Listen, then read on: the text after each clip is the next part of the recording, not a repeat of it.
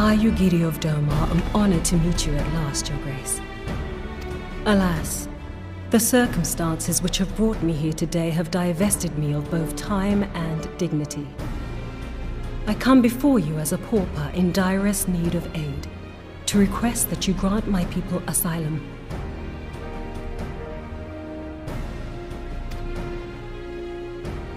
I, Nanamo, 17th in the line of Ul, welcome you to our city. Be at ease, Lady Yugiri. Although I myself have heard the tale of your misfortune, I would ask that you recount it once more for the benefit of the others here present.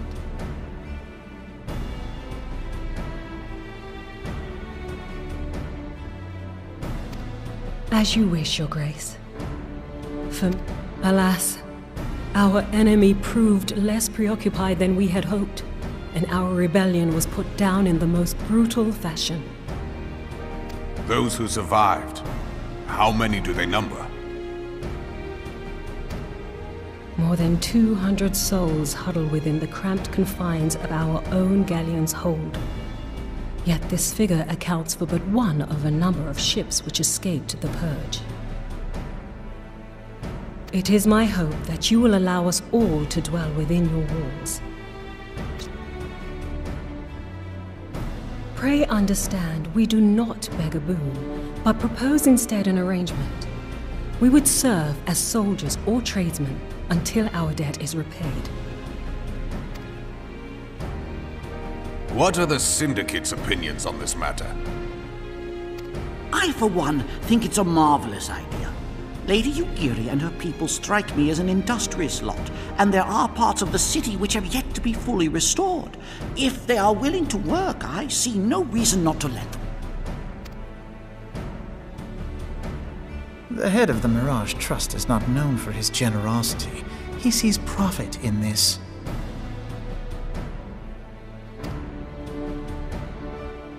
I agree. That said, these are foreign refugees. To admit them would require a formal resolution. Shall...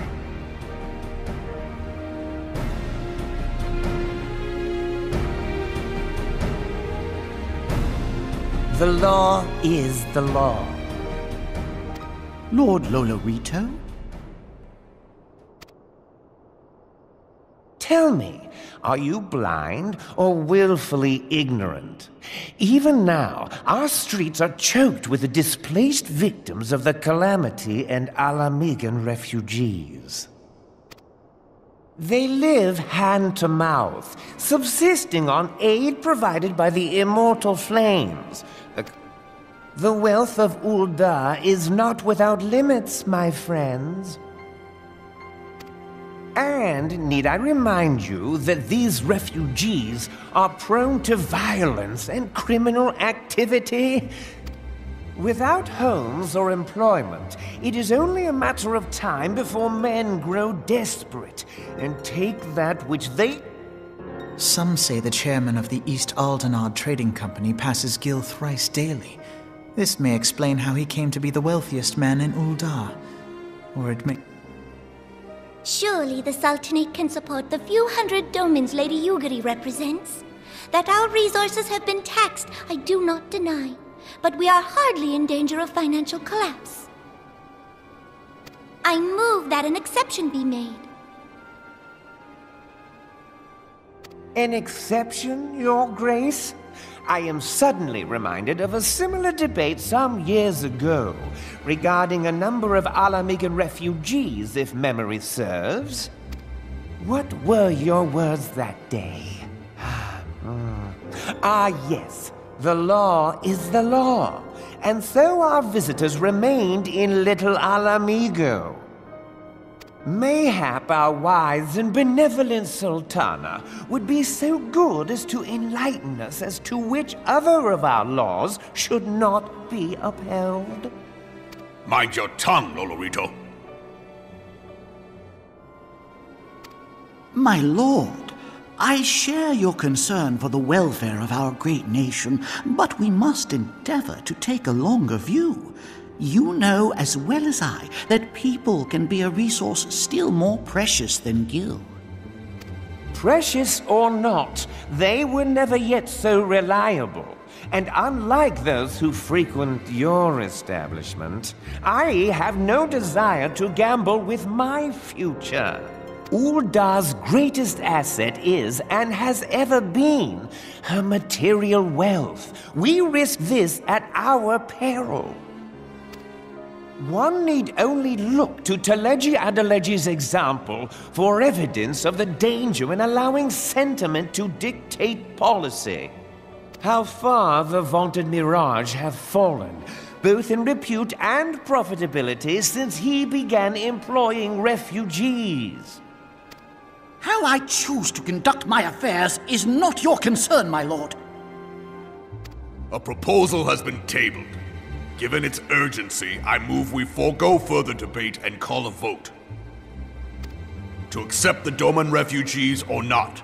Those in favor, I bid you remain. Those opposed, I bid you leave.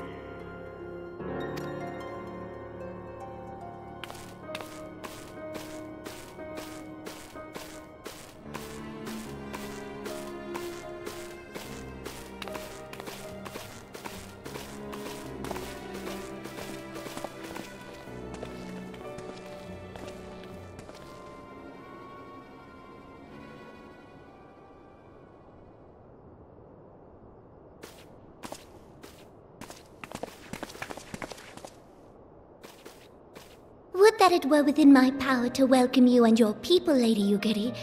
As you have observed, however, my authority in such matters is regrettably limited. Without the consent of the Syndicate, I cannot act.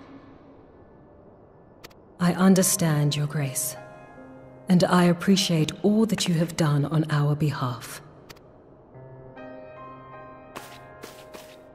The nerve of the man!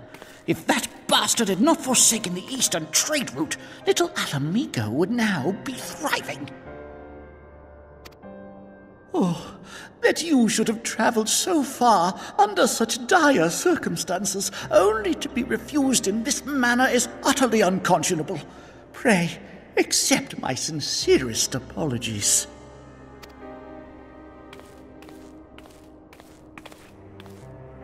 Now that the Empire no longer poses an immediate threat, they see little reason to maintain the pretense of unity.